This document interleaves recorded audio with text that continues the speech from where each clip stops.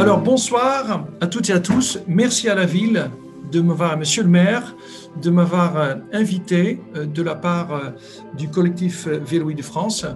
Alors, 10 minutes pour vous amener dans la société cyclable. Alors, je vais commencer par deux photos. À gauche, une photo de la société non cyclable, où le vélo est mélangé avec les voitures, et à droite, la ville néerlandaise dans toute sa splendeur, dans ce pays où j'ai grandi, sur un vélo. Alors, on pourrait dire qu'à gauche, c'est la France, et à droite, c'est les Pays-Bas. Mais en fait, pas du tout parce que ce sont deux photos prises dans la même rue, mais avec 45 ans d'écart. Alors, qu'est-ce qui s'est passé aux Pays-Bas?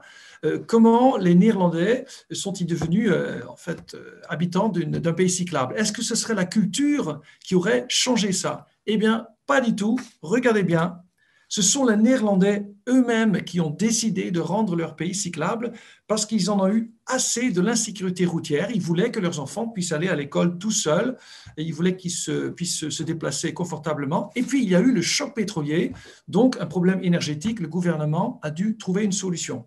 Alors aujourd'hui, en Ile-de-France, il se passe un peu la même chose.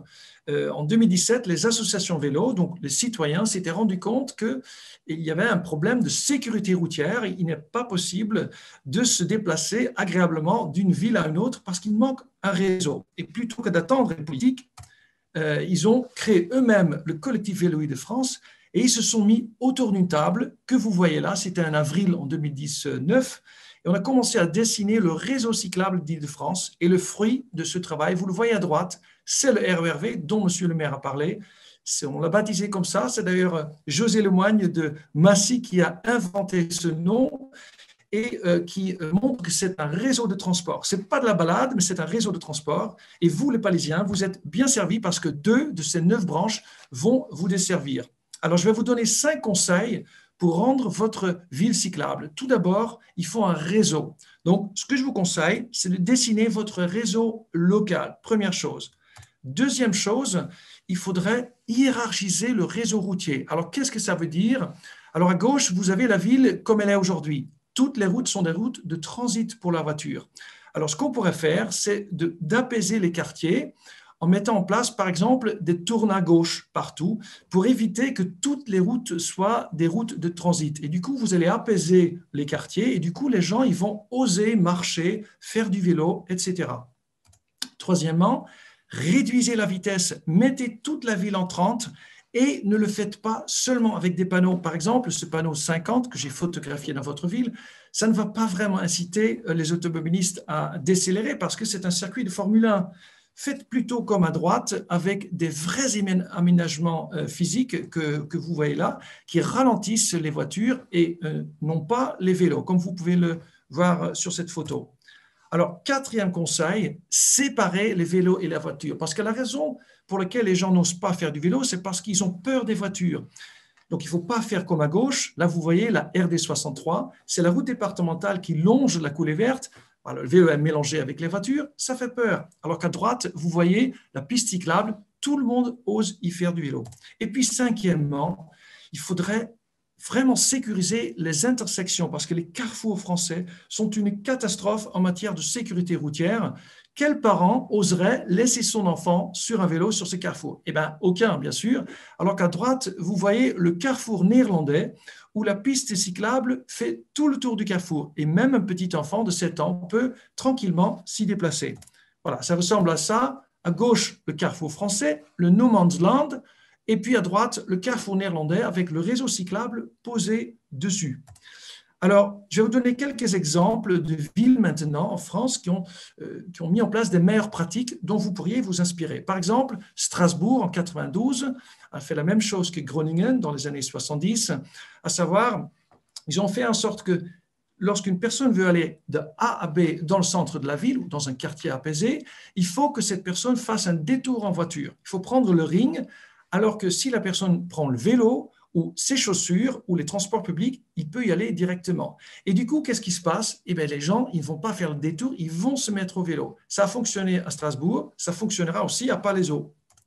Deuxième chose, Pantin, voilà, ça vient tout juste d'être terminé la semaine dernière, un carrefour néerlandais qu'il vient d'aménager. C'est un vrai chef-d'œuvre et euh, ça permet même aux enfants de se déplacer sur ce carrefour qui est quand même gigantesque. Il y a Bordeaux, en 2005, ville de droite cette fois-ci, Alain Juppé a euh, piétonnisé le centre-ville, 65 hectares. C'est un record absolu en France. Et quelques années plus tard, en 2017, il a fermé le pont de pierre à la voiture. Et du coup, quand vous fermez une rue à la voiture, vous l'ouvrez aux mobilités actives, le vélo et la marche. Et le résultat, c'est qu'aujourd'hui, il y a plus de personnes qui passent sur ce pont qu'avant parce qu'une piste cyclable qui fonctionne bien transporte sept fois plus de personnes qu'une voie pour les voitures. C'est contre-intuitif, mais c'est vrai. Alors, et puis Clamart vient de créer aussi une coronapiste sur une liaison stratégique et du coup, elle est prise d'assaut par les cyclistes. Voilà, vous le constatez. Et puis, Clamart est aussi la deuxième ville en Ile-de-France en nombre d'inscriptions Véligo, ce service de location de vélo offert par la région. Et c'est donc aussi un outil qui fonctionne très bien parce que ça permet de tester, par exemple, ce vélo cargo qui évite l'achat d'une deuxième voiture, par exemple. Alors, pendant l'ouverture de la transition euh, des assises de la transition écologique, Monsieur le maire, il a dit que euh, bah, le vélo c'est bien, mais 70 personnes, 70% des personnes ont besoin de la voiture pour aller au travail. Alors effectivement, en France, 7 Français sur 10 vont au travail en voiture.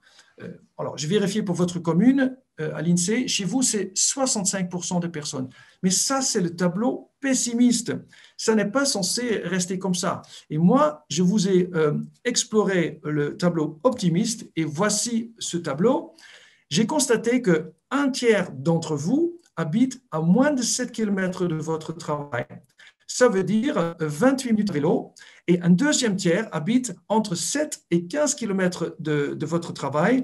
Et ça, ça se fait en moins de 36 minutes à vélo électrique. Donc, ça veut dire que deux tiers d'entre vous habitent à moins de 36 minutes à vélo de votre travail. C'est un potentiel vélo gigantesque. Alors, comment on va déclencher ce potentiel?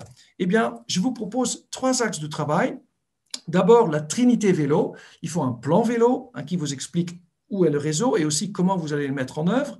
Bien sûr, il faut un budget vélo, il faut des sous, sinon on ne peut pas faire de pistes. Et puis, il faut un comité vélo que Monsieur le maire a mentionné, très actif, porté par un élu, avec les citoyens. C'est vraiment à vous de décider, de participer, pour que justement ce choix ne soit pas imposé. Puis, deuxième axe, il faut créer une culture du vélo. Parce qu'en fait, contrairement à ce qu'on peut penser, le vélo, c'est un sujet très nuancé, très complexe. Et donc, la ville de Montreuil, par exemple, que vous voyez ici, a invité des experts néerlandais pour, euh, en fait, les coacher, les techniciens, pour redessiner les carrefours de la ville. Ça a bien fonctionné et je vous conseille de faire la même chose avec les citoyens, avec l'association MDB Palaiso, pour construire ensemble, cette, pour vous former ensemble et créer du lien. Ça va créer la dynamique vélo que vous recherchez. Alors, et enfin, troisième axe, participez. C'est vraiment à vous de décider. Si vous, si vous voulez vraiment une ville cyclable, et c'est ce que je vois à travers euh, cet exercice, bah, c'est à vous de vous exprimer. Ne laissez pas le maire tout seul, parce que ce n'est pas facile politiquement d'imposer ou de, de mettre en œuvre des changements si vous ne le demandez pas activement. Rejoignez par exemple MDB Palaiso, ce sont des citoyens actifs qui s'investissent justement pour ça. Alors, je vais terminer en répondant à deux questions qui ont été posées euh, pendant l'ouverture de ces, ces assises qui sont très importantes. Tout d'abord, comment ne pas opposer des personnes? Eh bien, il y a un principe très important, à savoir qu'on ne peut pas développer le vélo sans réduire la place de la voiture. C'est impossible. Voilà, il suffit de regarder cette première photo.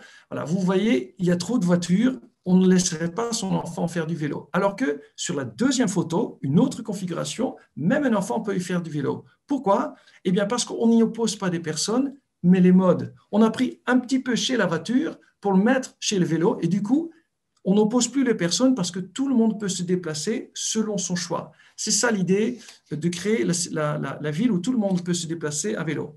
Et puis, la question suivante, comment ne pas punir? Euh, on a parfois tendance à croire que quand on fait payer le stationnement ou quand on enlève des places de stationnement pour créer une piste cyclable, qu'on punit l'automobiliste. Mais ça, c'était vrai dans les années 60 et les années 70 où effectivement, tout le monde aspirait à posséder une ou plusieurs voitures et se déplacer facilement et souvent euh, en voiture. Mais si nous sommes là aujourd'hui pour nous parler, c'est parce que nous voulons quitter ce monde, nous voulons, nous voulons que ça ne soit plus la norme. Donc, ce qu'on pourrait faire, c'est au lieu de prendre les impôts et de financer euh, le stationnement, parce que du stationnement, c'est de la place publique, il faut le réparer, le rénover, le peindre, ça coûte de l'argent, des milliers d'euros. On pourrait utiliser ces impôts aussi pour, hop, investir dans un réseau vélo, dans des racks à vélo, dans des vélos pour les enfants, etc., pour vraiment stimuler ce comportement. Il y a de plus en plus de familles à Palaiso qui se déplacent à vélo, qui n'ont plus deux voitures, mais par exemple une seule voiture, voire moins de voitures. Et en, faisant payer le stationnement, je sais que ce n'est pas une mesure populaire, mais au lieu de faire payer le stationnement via les impôts, on a l'impression que c'est gratuit, on le fait payer directement, non pas pour punir, mais pour responsabiliser les personnes. Parce que quand on paye pour quelque chose, on, a, on, réfléchit à deux fois avant de le faire. Alors, je termine sur le dernier slide. C'est mon dernier conseil. Ne focalisez pas sur ce que vous allez perdre, comme si à gauche, sur par exemple du, des places de stationnement, mais focalisez sur ce que vous allez gagner. Ici, c'est exactement la même rue, c'est la rue des Martyrs à Paris, où ils ont pris toutes les places de stationnement, ils, ont, ils les ont cachées, et ils ont remplacer ça par de la, de, la, de la verdure. Donc, récupérer des belles rues où vous pouvez vous déplacer à vélo. politique aussi, des rues très encombrées par le trafic automobile. Je vous souhaite bonne chance et j'espère pouvoir vous accompagner dans ce bel exercice. Merci beaucoup.